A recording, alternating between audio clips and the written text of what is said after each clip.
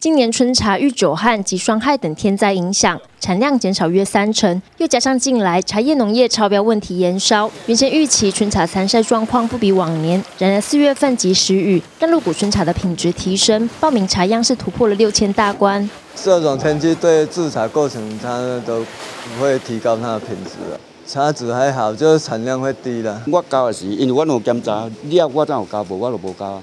我若检查农药绝对无味，也无无来交。今年春茶比顶年头无雨水，啊较白熟。大家拢想讲无水好做无影，加做白熟水做袂出来。今年的茶较甜，比往来较甜，啊顶年的茶较苦。山农减足济，因为你得着酸吼，话拢无办着。鹿谷农会办理比赛茶已有近四十年的历史，今年也将秉持一贯的理念，为消费者筛选好茶。诶，咱鹿谷乡农会春茶比赛哈，诶，今年嘛是突破以往的诶记录了。那去年是五千多件，那今年已经六千三百多件报名件数哈。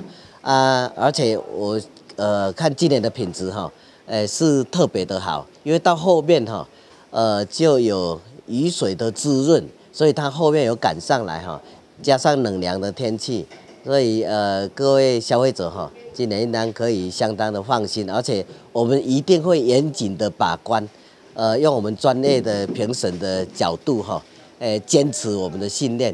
过去茶赛只要未通过农药检验就会遭到销毁，而今年有鉴于茶安连环报，茶叶未过不止销毁，还会依农药管理法处置，最高可罚到十五万元。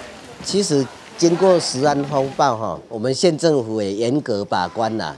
诶，抽到的都是铁腕政策哈，就是除了呃销毁了，然后呃罚款啦，还要奖息啦，各方面哈，呃都来哈。那茶农也相当的配合，愿意配合这种政策了。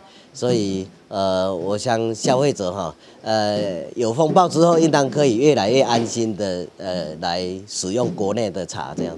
入股农会多年来建立公信力十足的茶叶品牌，一掌和顺丰，相信在农会严格把关下，能够替爱茶民众评选出各家优质健康的好茶，请大伙拭目以待。民选从心仪入股采访报道。